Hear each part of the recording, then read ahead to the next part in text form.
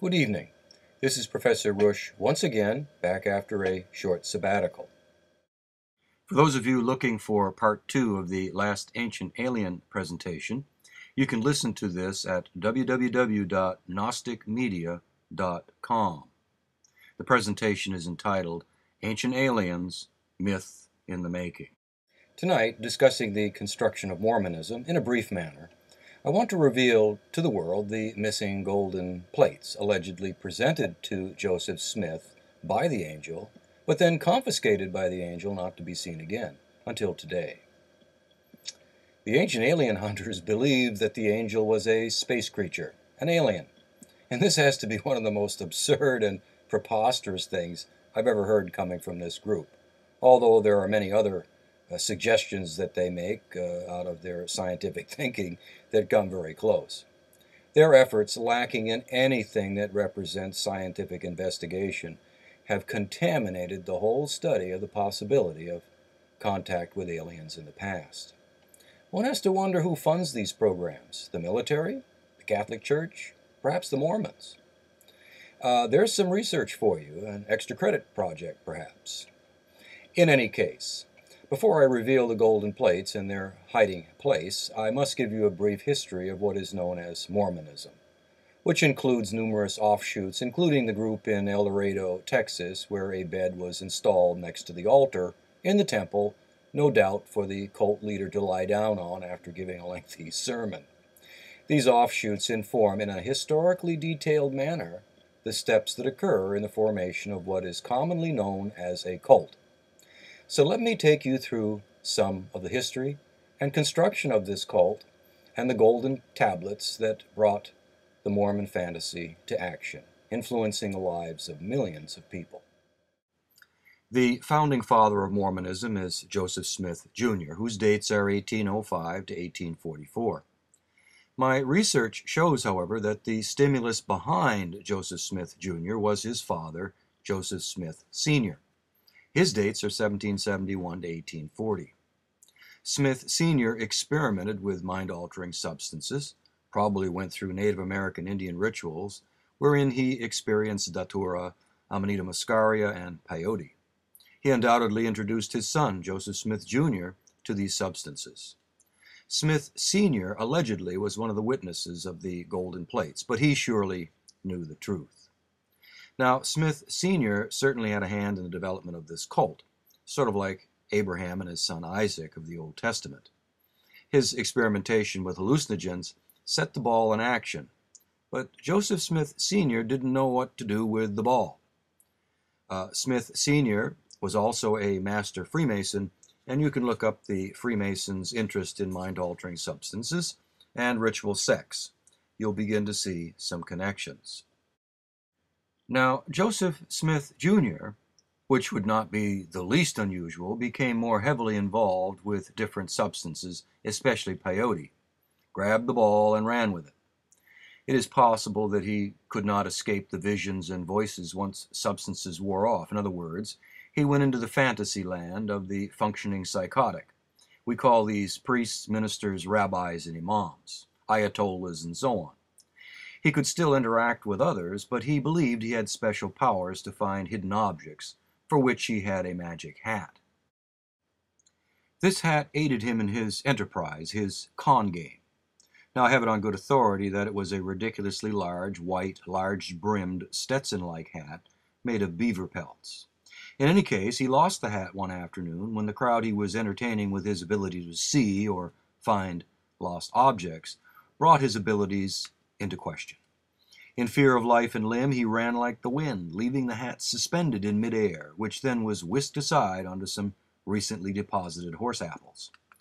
In 1844, he lost his life for the very same reason, that is, pretending to have magical abilities. So Joseph Smith Jr. needed another power object that would help him see. Now, anyone participating in a gentle peyote ritual has a sense of knowing, and this could include knowing the whereabouts of lost objects. For Joseph Smith Jr. never gave up the con game. And so he carried about in his pocket the facsimile of the peyote cactus, which he used as a stand in for the actual experience with mescaline.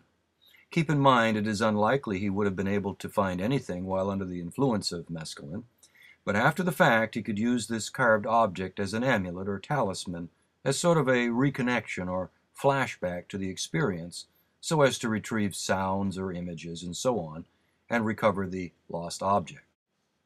So now let's get to the lost or missing golden plates that were allegedly given to Joseph Smith Jr.